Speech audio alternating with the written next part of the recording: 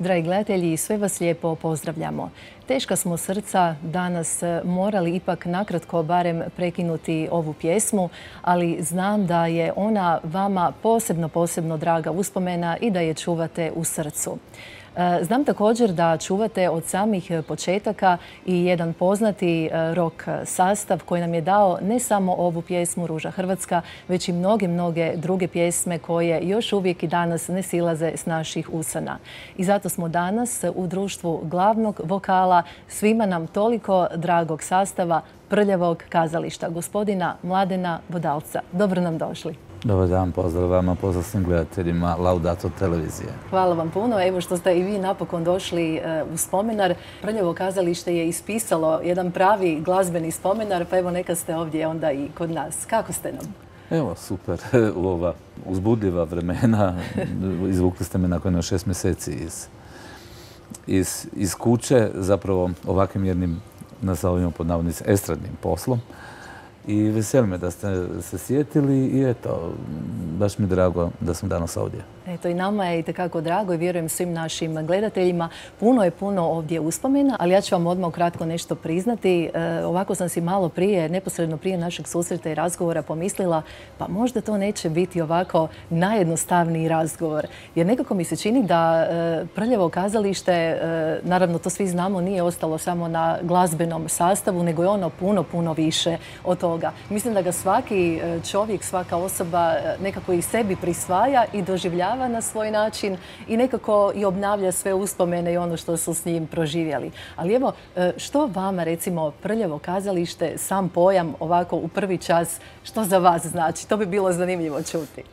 Pa, čujte, iza nas je respektabilan broj godina, više od 40 godina prošlo kad se ovdje u Dubravi događali te stvari oko osnivanja benda i tako kad me pitaju za, nekakav događaj i za nešto najvažnije što bih volio izdvojiti u vezi benda, i uvijek taj samo je dolazak u bend. To je bilo ostvarenje ono, svih dječačkih snova, svega ono što si čovjek želi kad je klinac, kad mašta da će zabijati golove u odlučujućim utakmicama svjetskog prvenstva ili da će, da će stadionske turneje raditi i sve ono što, što eto, meni se meni se ovo drugo velikim dijelom ostvarilo i sigurno da, sam, da me ispunjava i da me radošću i srećom, jer ne vjerujem da sam bilo koji drugi put izabrao, a moglo, mogo sam, ovaj, mislim ono što se škole tiče, ne znam, nečega, i nekakvim drugim putima krenuti, ali velim, uvijek bi bio zakinut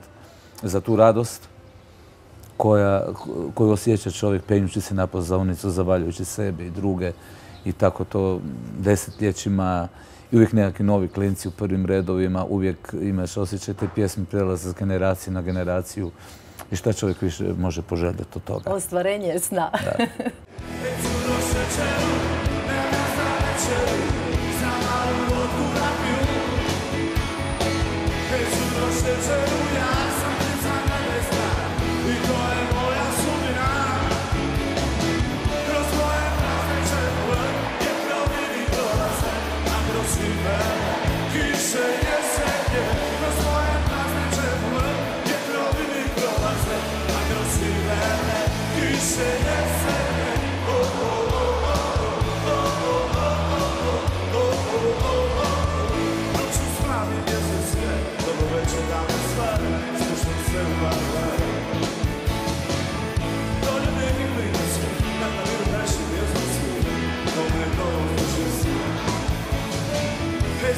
Cicero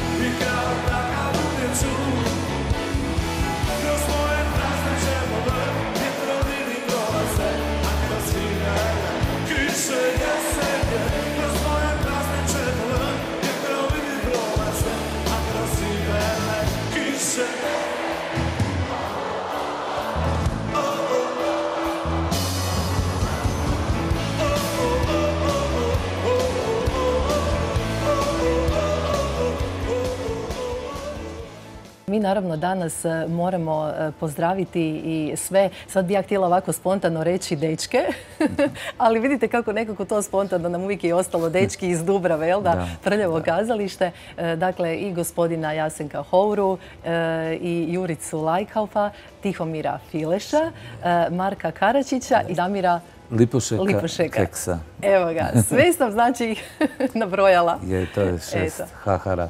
Šest hahara. Koji se, ovaj, koji isto doživljavamo glazbu i i na probama i na nastupima i sve ono što se svih ovih godina oko benda događalo.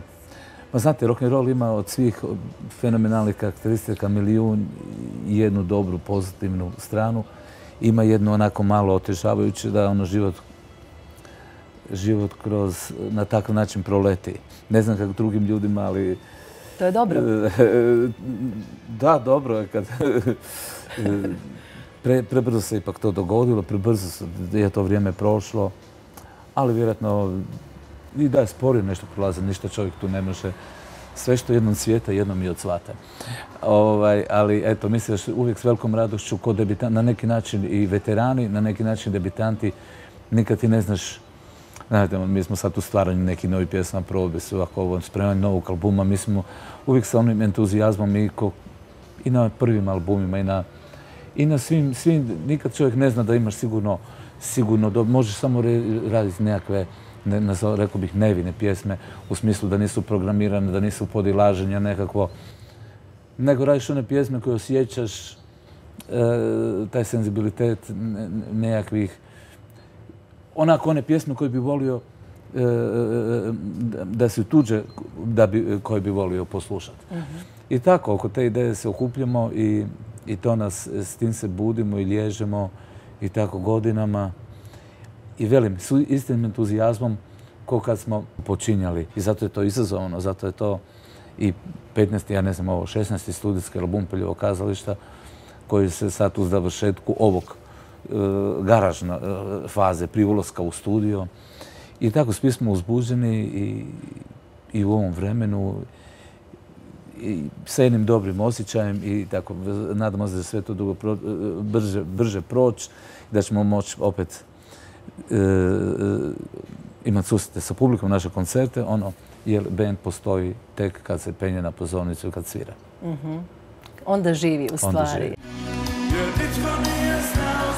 Susan Comarina, amor, se por ese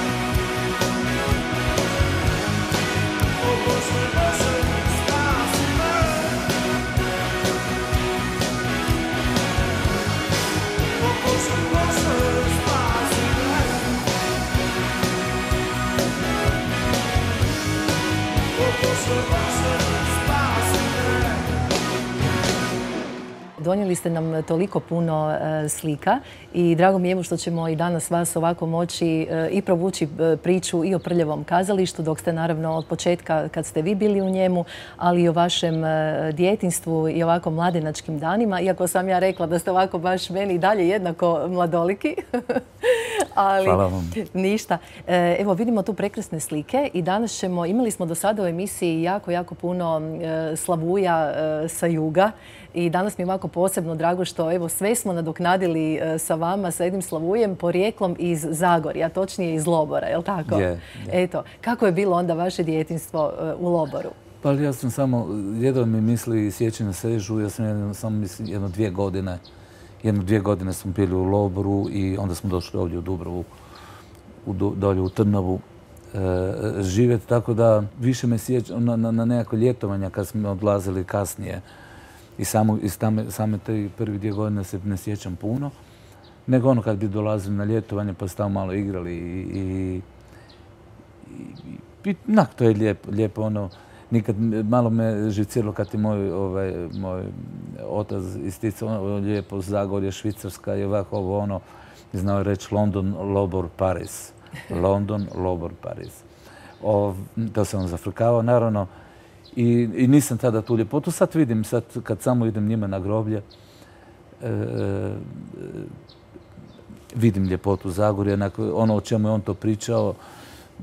Međutim, ovaj, on je baš ono strastveno, ono, ono baš ono lokal patriotski onak bio za tu rodnu grudu, ono za to Zagorje. Ja sam na neki drugačiji način, ali isto vidim ljepotu toga i, i, i lijepo se tamo osjećam.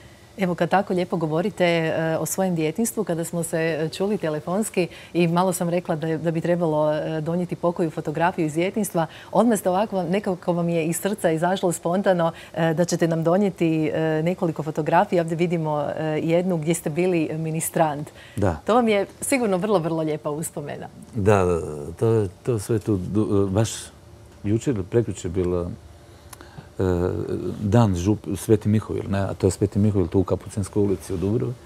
I tu sam ja godinama ministrirao i to je vrijeme ono kad se svakodnevno, ne nedeljom išlo, nego mhm. svakodnevno se išlo ovaj, neko koji je mogao i, i na zornicu i, ovaj, i u vrijeme adventa naravno. I na većinu svetu misli, tako to jedan lijepi kružok se složio, ti su mi ljudi ostali u dragim uspomenama. Još dan danas, mislim, vrlo rado, sad ovo vrijeme, ovo post karantensko vrijeme, ono, najrađe idem kod majke Bože Snjemenske, tamo je mala kapelica, pa onda tamo svi stojimo vani. U svom slučaju, e, s čim više je bilo uspjeha i s čim više je bilo dobro u životu, uvijek bi imao oči prema nebu i, i, zahvaljivo i pitao jesam baš ja to zaslužio i tako. I tako jedna utjeha i nada i to mi je permanentno u meni i i, na taj način sam, sam povezan sa crkvenom zajednicom. Na badnje večer, dok su zvona, zvona zvonila. Pred crkvom sveto, plaža ti si, dušu stajala.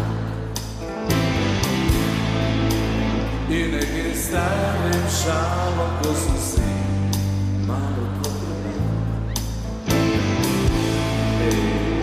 Zbog mene ne smoczyłem z Bogiem.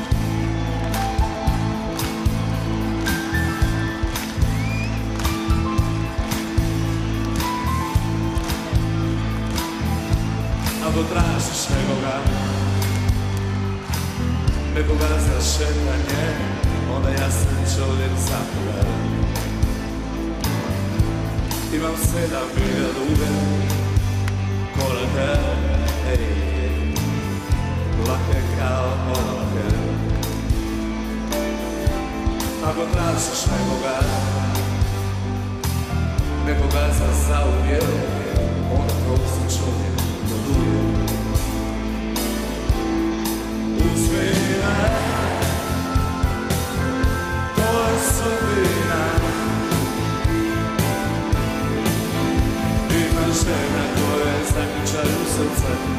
Narod ramena Uzmi me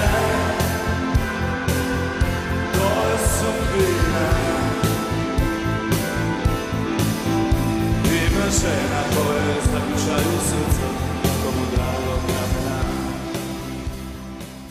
Ovdje je još jedna jako, jako lijepa e, fotografija i mi sada možemo, čini mi se, i početi priču o prljavom kazalištu. Da. Je li to onako baš najfriškija slika, negdje sa ranih početaka? Ovo je još, ovo je još e, jedan band u kojem sam bio prije dolaska u Prljavom kazalištu, to je bila grupa Patrola. I, i ovaj, I to je ono slikom za neku naslovnu stranicu poleta omladinskih nekakvih novina i to je tako jedna lijepa uspomena. Evo, e, ja sam vas odmah na početku pitala, odnosno vi ste mi sami rekli da e, vam nije nikada zgodno e, pričati u ime bilo kojeg člana, pogotovo u gospodina Jasenka Houre koji je dakle i osnovao bend, ali vi ćete zato nama i o svome životu i naravno vašim doživljajima, jer ja vjerujem da je velik dio života i prljavo kazalište. Na, najveći sam. Jel tako? Da. Ali sigurno znate po čemu je prljavo kazalište dobila tako zanimljivo ime. to znam ono iz, e, po pričama, ja nisam tada, ja sam 85. došao u band na album Zlatne godine. E, ali znam da se isto ovdje u Dubrovi negdje, ta- e, ovdje blizu, u Gornjoj Dubrovi događalo to početci tog benda i oni su bili punk band. I naravno da su trebali nekako ekscesno, nekako incidentno ime s kojim će spratiti pažnju na sebe i koje će biti prodorno i koje će ostajati ljudima ušima. I znam da, da, su, da, da su nešto, da li su glasovali ili ne znam što, ali da su bila dva imena. Bile su zarazne bolesti i bilo je peljevo kazalište. To je po jednoj epizodi iz tadašnjeg aktualnog stripa Alan Ford. I onda su se odlučili za peljevo kazalište i eto tako je ostalo. Nekad po nekakvim američkim i australskim turnema, sad ne znam točno, znam da su ljudi, joj, pa kako to kazalište? Ono, pa ja sam ženi rekao da će to biti kazališna predstava i ovo ono, pa kaj se niste mogli... I tak, tak, ljudi su imali svoje, svoje viđenje toga. A, Vi ste inače i na e, jednom albumu, vi ćete mi reći naziv, e, snimali prateće vokale prljavom da. kazalištu. Jel tako? Ja sam ovaj, to je sve, sve je zapravo povezanost je bila e, gitarista tadašnji Marijan Brkić, sada svira u Panovaljku. On je, ja sam s njima imao ulični band, davno išli sam po ovim prvim pljeskovima, Gaudeamus se to zvalo. I imali smo taj nekakav band i on je dobio poziv za Peljevo, najprije grupa Drugi način, pa Peljevo kazalište. I on je naravno otišao, mi smo ostali, ja sam se malo posvetio studiju i on, ja sam gledao sa strane njihove uspjehe. To je bio album Crno-bijeli svijet, album Heroj ulice. E, velika, velika je tad, e, to bilo fora. I taj album Korak od sna sa pjesmom Sve lako kad si mlad, koja dan danas e, je rado slušana, jer u tri, četiri crtice opisuje što je doista da je sve lako kad si mlad. I ja sam njihove uspjehe pratio i bilo mi je drago da naprosto sve ono, svi, i svi tad, tadašnji bendovi, svi nogometaši, sve dolazilo s nekakve drugih strana grada, iz druge dijela države tadašnje. Jedino su oni pronijeli glas Dubrave i tako ja sam bio jako ponosan da sam da sam na neki način blizu njih, da ih znam i tako. I to me veselilo. I onda je jedan dan došao Brkić, da, grupa Patrola, da se nešto su razišli sa pjevačem Renatom Metesijem. I nakon toga ja sam kao na šegretiji bio, na šegretiji u toj patroli, da ipak osjetim bilo pozornice, rock'n'roll band, struja, energija, sve što donosi jedan rock'n'roll koncert. I onda sam nešto išao slušati vojsku, bio sam absolvent na pravu, služiti vojsku, tih nekakvih dva, tri ispita mi je ostalo i bio, bio, je ovaj, proljeće 85. i došao i isto taj, taj Brkić i tak sam ja došao na nekakvu probu, pa da ja otpivam ovo, pa nekakve nove pjesme. Oni su još bili u fazi završetka, završetka novih pjesama za novi album i mi smo ušli u studio i tako, i tako, tako je to sve krenulo. I baš vozi kući Vegana I ako si sretna ko što kažeš Ma da znam da lažeš Sve to ubija me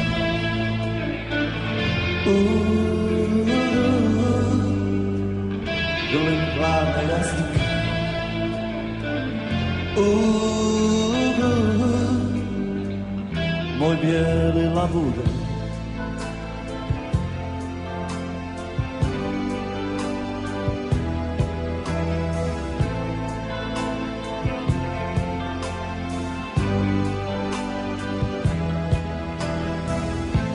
I briga me što nisi mjesec, a ni sunce Briga me.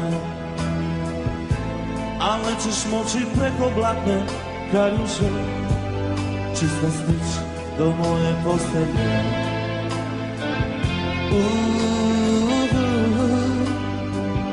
Grlim hladne jasike Moj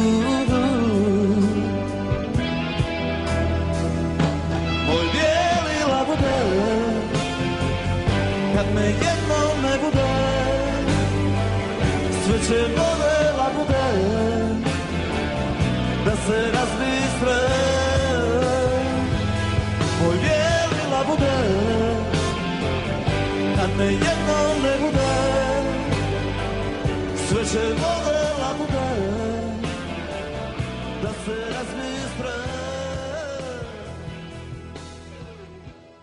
Dosta dugo godina ste bili e, odvjetnik, no evo rekli ste mi sada da je to odnedavno friško i završeno to razdoblje. E, No evo, možemo se još malo vratiti i e, na sam početak, odnosno kada ste ušli u sastav Prljavo kazalište, već su tada bili veliki, veliki uspjesi i s albumom Crno-bijeli svijet i sa pjesmom Heroj ulice, Sve je lako kad si mlad. Ili vam to onako bilo malo i stresno opterećenje? A, a s druge strane, pročitala sam jednu informaciju, a kaže uvijek nemoj vjerovati svemu što pročitaš, zato ću vas pitati. E, kada ste vi došli, sigurno je nastupilo jedno drugo razdoblje, odnosno vi ste možda unijeli jedan drugačiji način e, i pjevanja. Treba se prilagoditi pjevaču i kao osobi, jel tako? I onda su rekli da od tada Prljavo kazalište postao i komercijalan bend. Što vi mislite o tom izrazu? Sad, u, tom, u tom smislu ovaj, ne mogu prosuđivati zato što su oni albuma Crno-bijeli svijet prodali Da. 150, dosta su neka 150 tisuća primjeraka, dosta su nekako punili sve dvorane, u, ali sigurno da je bio jedan veliki izazov. Pa ste već Bogović je tada, koji je zajedno sa mnom ministrirao u toj crkvi, e, već bio velika njuška i prepoznatio faca i, i nije bilo baš ovaj, nije baš bilo ga u tom smislu lagano zamijeniti, ne. Ali čovjek, s druge strane, ja sam ono, u toliko to želio, ne, ne moraš vjerovao u sebe. To sam želio zato što ni- nije sad neko ti mora reći, mislim, kad ljudi pitaju, pa dobro, milijun ljudi pjeva, pa kako ste baš ono, vi iskoračili taj korak naprijed? Zašto, kad, ste pomislili da nešto, da biste vi sad mogli biti pjevač rock and roll benda?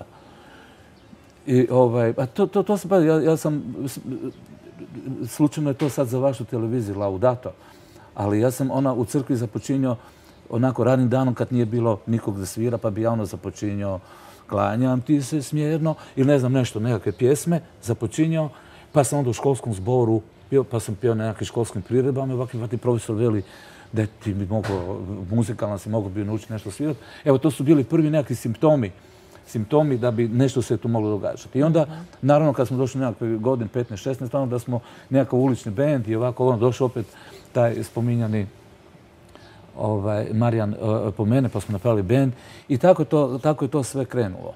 A sigurno da je bio veliki izazov, eh, prije svega tu su bile velike dvorane, puno ljudi. Ljudi su se već naučili na prethodnog pjevača, nije bilo jasno što se sad događa. Bilo je to ono Bogović, Bogović, bilo je, bilo je svega, ali ali velim, eh, uz ljubav koju sam imao prema glazbi i uz tu strast koju smo imali svi, svi mi u bendu, to mora biti strast, to mora biti ne, ne, neobično, ne svakidašnja, ne svakidašnja. Svi mi smo ono klinci koji onak loptu ono stalno igra nogomet po stanu.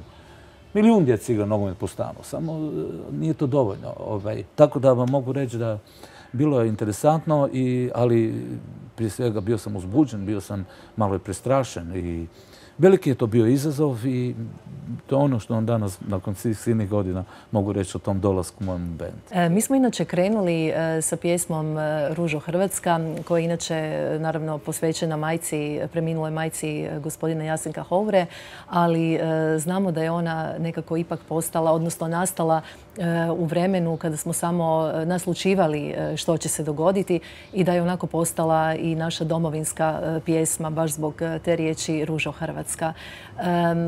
vjerujem da svaki ima doživljaj e, te pjesme i proživljava je na svoj način, ali evo, e, kako ste vi doživjeli i proživjeli svaki puta kada ste izvodili, gledajući sve te izraze lica, gledajući koliko ljudima znači, pa evo od najtežih vremena, a i do dan danas, kada ju s jednakim, evo kao što ste rekli, i strasti i ljubavlju pjevaju svi? A sigurno da je jedna posebna pjesma koja je vjerojatno najznačajnija pjesma u opusu Piljevog kazališta. Bilo je tu još niz drugih pjesama, ali naravno da imam poseban respekt prema njoj znamo vrijeme u kome je ona nastajala. Dakle, to je negdje 88. godina, kad je izašao album Zaustavite zemlju. I nije u prvi mah ona... Mi smo znali, mislim, meni jasno ko nikad pretjerano objašnjava sadržaj svojih poruka i ovako ovo, nekad ga za njegovu intimu baš direktno ne pitam, ali sam slutio da se radi o takvoj jednoj temi, takvoj jednoj emociji, da ne smije nikakva patetika ili ne znam nešto, nego ona je vrlo onako odmjereno napravljena i s poštovanjem. Kasnije je ta pjesma prihvaćena od cijelog naroda, ona je imala e, u tom povijesnom kontekstu taj značaj i danas je ona nadišla vrijeme u kome je nastala. I dan danas ju rado izvodimo i, ljudi, ljudi jednako doživljavaju u kovo ono vremena malo drugačiji, e, dakle, emotivni, u smislu tada bilo su opasna vremena, nismo mhm. znali što će se događati. Vrlo velika, kasnije smo imali album 90 koji je isto na neki način preskazao sve što će se na ovim prostorima događati, a nisu se događale lijepe stvari i tako dobro da to sve iza. Pjesme su ostale, mi smo ponosni na njih i dan danas iz večer večer kad se penjemo na pozornicu i kad ćemo se ponovo, kada to ovo sve prođe, ove nevolje, ovaj, ćemo nastaviti tamo gdje smo stali i, i, i ponosni smo na te pjesme i stojimo za njih. A za oblak mi se mjesec skrio, sakrio mi pute, uzalud vam kruciraši, za drugog su dunje žute.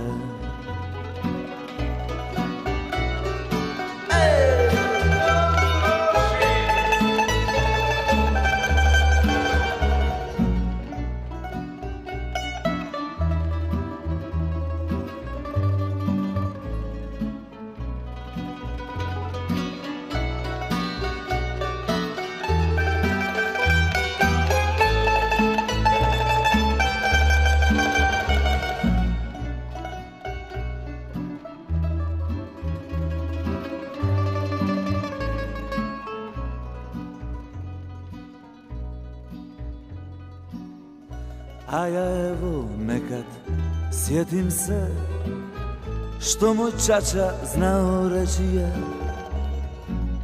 Sve ti duše sine slavonske Uz pjesmu prebole, ale oproste Uz pjesmu mi se evo rodimo.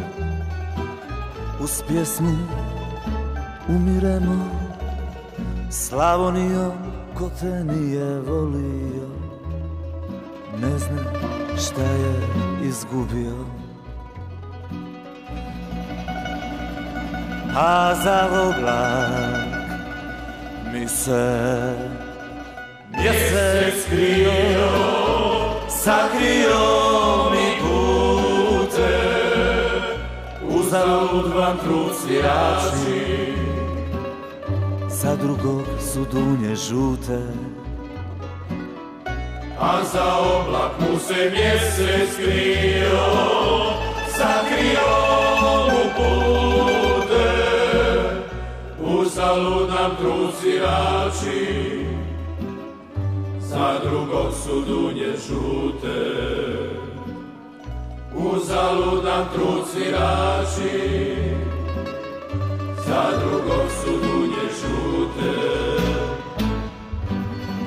Za drugog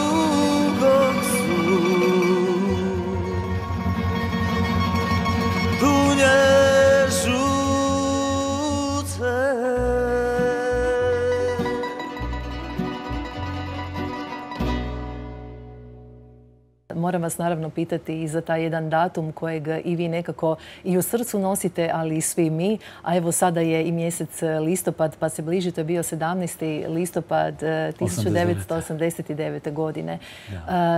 Dakle, evo za možda mlađe generacije kojima su možda samo roditelji pričali što se tada dogodilo na trgu Bana Jelačića današnjem.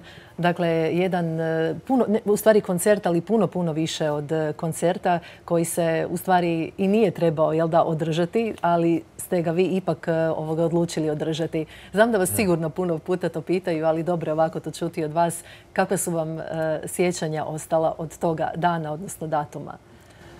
Pa da, jedan koncert koji je ostao zabilježen. O njegovoj veličini govori i činjenica da da na nacionalnoj televiziji, e, moram spomenuti, u emisiji TV Kalendar se mnogi godina na taj datum E, spominje taj koncert i, koji je on na neki način bio ono opći narodni e, događaj. Znali smo da, se nešto događa i da bi, da bi moglo biti puno ljudi, ali nismo uopće mogli uopće... Da će biti koliko blizu 300 tisuća, Da, da, da će to mhm. biti sve narodni događaj i i takvi veliki koncerti, on ti proleti, on ne može se puno momenata sjeti. Znamo da spomenuli ste te nesporazume sa tadašnjom vlašću ili onima koji provode vlast. A ovaj, sjetim se, definicije vlasti. Vlast je mogućnost provesti svoju volju i protiv otpora drugih.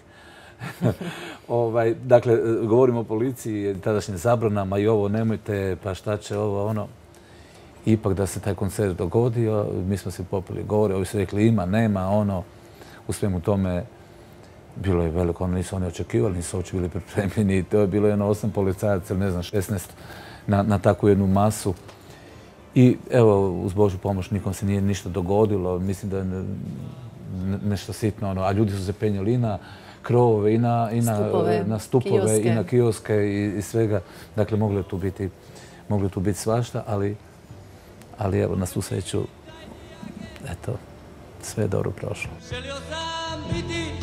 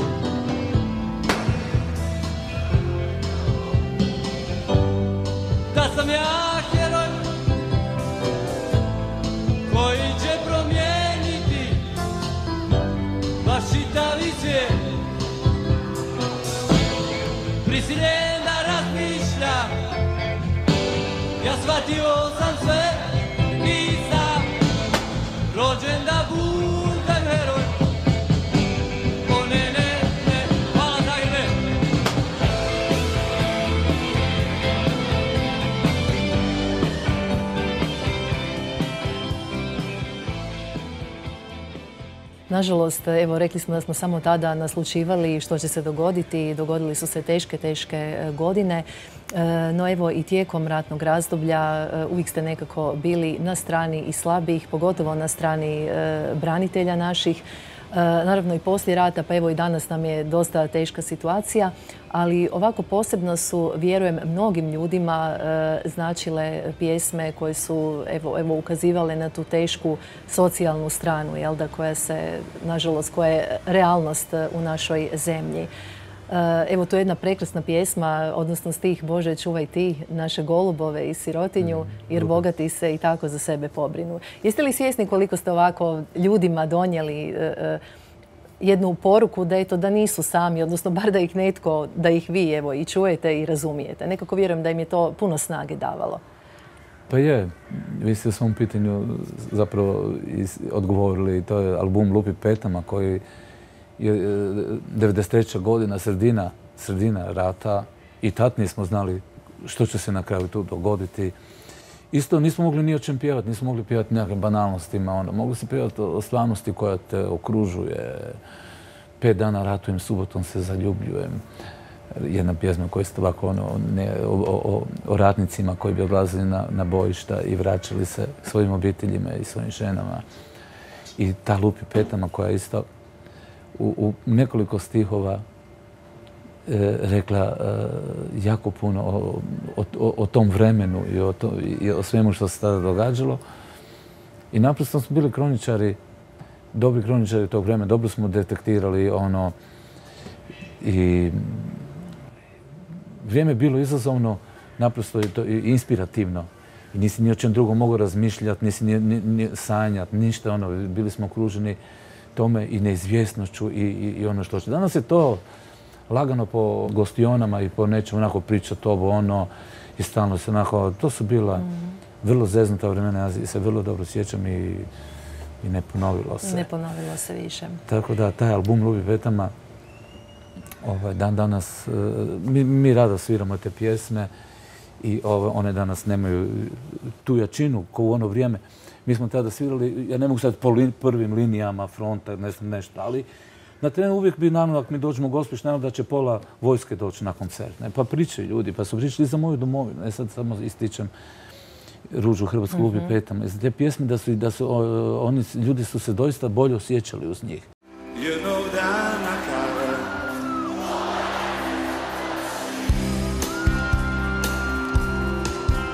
Jedva čekam prijatelji sve vas da zagrlim ovako sjedi se Pala ponekad odjela. Lupi peta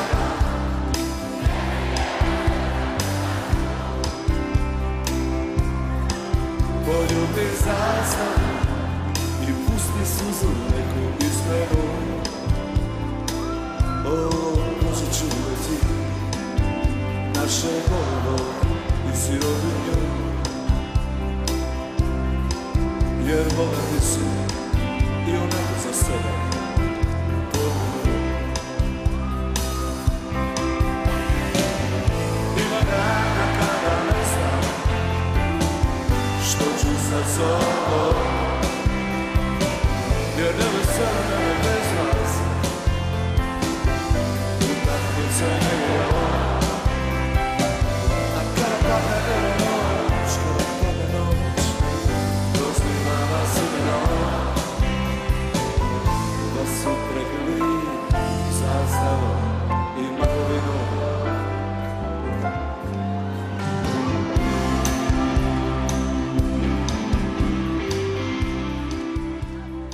mislim da će danas e, svi očekivati puno, puno pjesama, a puno manje razgovora, makar i ovako vas nekako, e, vjerujem da će vas gledatelji kako im je drago što ste nam danas gost.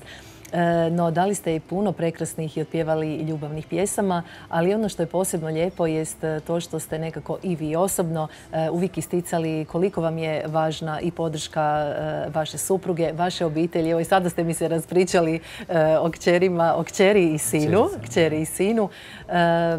Je li vam to ovako puno značilo, dakle, podrška obitelji? Ma da, I znači? ma da, mislim, rock'n'roll scena ili šta ja znam, ono, tu bude, budu, manje više tu, zapravo nije nekakav e, standardan obiteljski život, nije karakteristika, tu ima i dosta poroka i mi i, na našoj sceni, i na vanjskim scenama, vidite, rock'n'roll, tu je ta velika energija, pa to onda ima nekakvih nekakvih stvari, ne, znam, alkohola, ne, znam, neću sad to uopće niti nabrajati, pa znaju ljudi nekakvim stramputicama. Ali mi, naš band u tom smislu nije bio nikad incidentan, nije se po nekakvim žutilima, po nekakvim poročnim e, stvarima isticao. Znate, čim su tanje pjesme, oni trebaju više svjetloga reflektora ili ovako ono. Mi smo se u svoje pjesme uzeli i našli smo tu povezanost sa publikom i to, se, to je vrijeme, vrijeme koje je sve proteklo je, potvrdilo ispravnost takvog puta i mi smo, mi smo ono, obiteljski ljudi, sad neću ono sad ono obični ljudi iz predgrađa ili šta znam. Ali obiteljski ljudi kojima ta podrška obitelji puno znači i Ovaj, Od nekih pravih životnih vrijednosti, jel da, koje su vam najvažnije i koje su polazište. Apsolutno. Mladene, Prljavo kazalište ima zasigurno jedan ovako lijepi i ponosan e, pridjev, e, a to je i najzagrebački sastav e, koji je otišao i daleko izvan Zagreba, jer ja znam da vas i od početka voli jednako i jug, i sjever, i naša dijaspora po kojoj ste Bogu hvala jako, jako puno puta i nastupali dugo, dugo godina. No evo da se ne zadržimo samo naravno na trgu Bana Jelačića. E, vi ste zaista onako diljem Hrvatske, ali i diljem grada Zagreba nastupali. Mnogi još pamte i vaš koncert ispred katedrale. Od početka ste e, ostali, pa ne znam, ne volim tu riječ popularnost, ali jednako u srcima svih ljudi, a opet evo vidimo, tu su i oni pravi dokazi e, koja god je pjesma, uvijek je dakle na samom vrhu top liste, uvijek ljudi pjevaju. Nekako ste uvijek bili i ostali na samome pri vrhu. Pa da, to ste pjesme. Pjesme Dakle, ovaj, ja sam Hovora kao autor svih naših pjesama od prvih dana je bio angažiran tekstopisac i progovarao o dušnoj stranosti koja nas okružuju na jedan kritički način o malim ljudima ovdje iz Dubrova, iz predgrađa, tada predgrađa, danas utvaram da je Dubrova grad. I o nekim stvarima koje su tištali ljude, o nekim malim ljudima koji su htjeli vrisnuti a nisu imali način, nisu ni znali, pa je on progovarao u, njihovo ime. Tako ostalo dan danas, dakle, ta nekakva angažiranost, da nemaš pravo na nekakav jeftin pristup nekakvim svakodnevnim temama, nego da... Ali to onda dovelo i u tim ljubavnim pjesmama su se ljudi pronalazili. Dakle, nekakve sretne ljubavi nisu toliko interesantne zato što to se dvoje ljudi i oni, oni, dakle, ljubav je sve ono što se događa između dvoje koji se vole oni za sebe žive, ali nekakve nesretne ljubavi, neuzvraćene ljubavi, neostvarene ljubavi, nekakve čežnje, jel će sad nekakve strepnje, bol koji može ovaj, sve to skupa donijeti. E to mislim da je bila, da, se jako puno ljudi u takvim, stvarima pronalazilo i, ne može ti biti uspješnija pjesma nego kad pjeva o nečemu, evo to se i meni dogodilo. Ako neko veli, evo to se i meni dogodilo, evo na badnje veće, dok su zvona, evo to se meni dogodilo. Mislim da je to bio temelj uspješnosti benda, te pjesme u kojima smo se svi pronalazili i koje su nas sve povezivale i dan danas, ovaj, dan danas ih ljudi rado pjevaju i eto.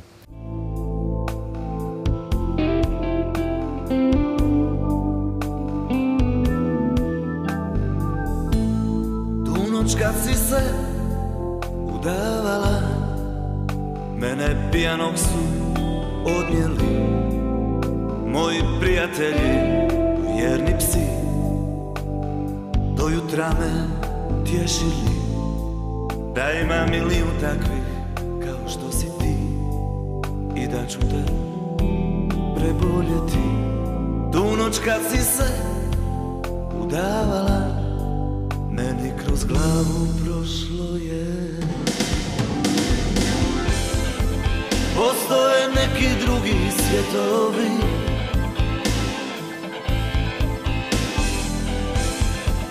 Za nas bi bili rajski cvjetovi.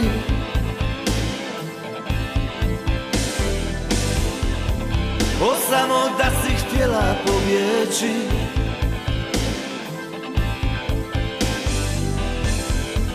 Ovako stisni zube ne plaći Thank you.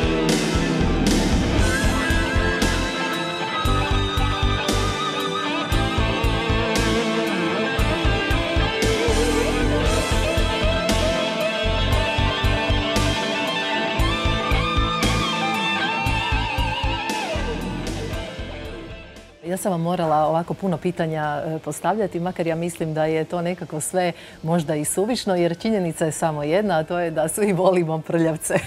a mi smo sad tu jako puno definicija, jel da, e, rekli, odnosno vi ste rekli, ali nekako je ipak to sve u srcu što se osjeti i možda ne treba puno niti tumačiti. U stvari mi ćemo danas vidjeti e, i dosta pjesama sa vašeg koncerta u areni i sad ću ja vas ovako pitati. Sigurno se puno pripremate prije koncerta koncerta, naravno i glasovno vježbate, pa padne li vam teško, to je samo malo šala, kad dođete na koncert, a ne daju vam pjevati. Jer meni se čini da publika dođe i da ona jednostavno samo je dovoljno onako, jel da, glazba, da se čuje podloga, koliko oni toga u stvari vama imaju za reći. Jel da? To je jedan predivan osjećaj, to je jedan predivan osjećaj mnogi koncerti, ono, znali smo ono da, da, ljudi, ono, već sat vremena prije u Durani mi iz garderobe slušamo, oni već pjevaju. Zagrijavaju oni su, se. oni pjevaju već cijeli koncert. Ovaj. To je, jedan, to je neponovljiv osjećaj, to se ne da ispričati. Kad spominjate te zadnje dvije Zagrebačke arene, a isto jedan veliki izazov za band. Isto smo htjeli napraviti, pa onda se vrlo pokazalo da treba raditi dodatni koncert. A to kad publika to kad publika zna pjesme, kad se njima prepozna, kad tako dobro reagira, nema veće sreće za izvođače i za band nego kad se to dogodi. Jasno. Jedan put su vas pitali e, koliko misli prljavo kazalište e, trajati, ali ja vjerujem da dokle god ima e, ovako vjernu publiku koja ga prati da neće ni stati. Vidite kako se rimuje čak. nemam šta drugo dodati skroz dok, dok ima te povezanosti sa publikom i, dok te pjesme žive i dok prilaze sa generacije na generaciju i ovaj, mi se odlično osjećamo u tome i nije pretjerano mudro ne zagledavati u budućnost što nosi i, što može donijeti. Ali naš band nikad nije nekakav takav fatalistički pristup imao ono što će biti ovo ono.